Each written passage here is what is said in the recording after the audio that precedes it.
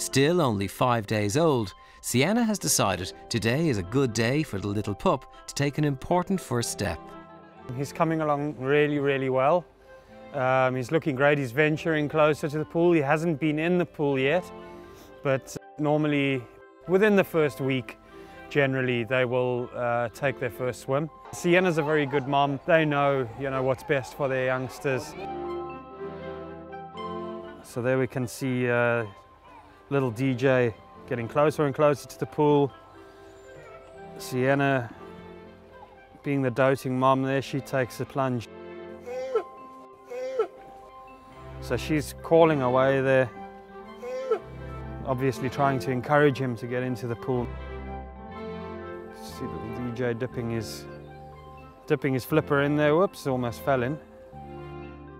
Uh, he's definitely interested. He's really, really curious.